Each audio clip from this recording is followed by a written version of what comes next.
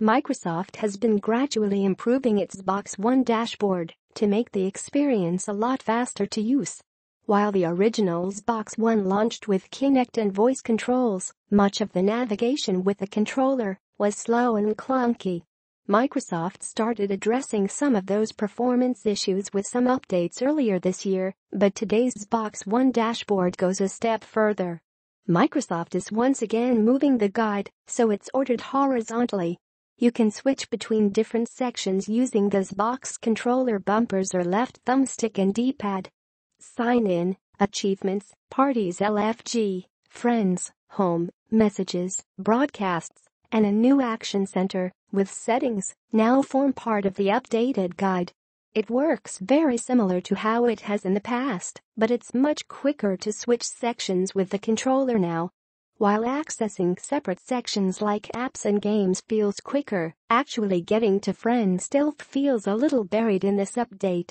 The Friends tab has a brief overview of online avatars, but you have to navigate a step deeper to get more information.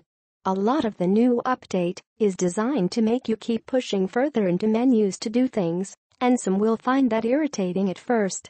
The speed improvements make it feel worth it over time, though. There's also a new home interface and some good examples of the fluent design influences that Microsoft is bringing to its products. You can pin things like favorite friends to the home section alongside games and apps. Pinned games will even show activity feeds so you can see when a friend is playing a particular title. I've been using the update for months and I've found that I rarely ever use the home interface as the pop-up guide still feels like a quicker way to navigate around. Microsoft has also included a new light theme with this new dashboard if you are a fan of the Xbox 360 style of UI, then this brings back some of those lighter elements. If you're an OLED TV user then you'll be glad to know that Microsoft is also improving its screen dimming feature to prevent screen ghosting.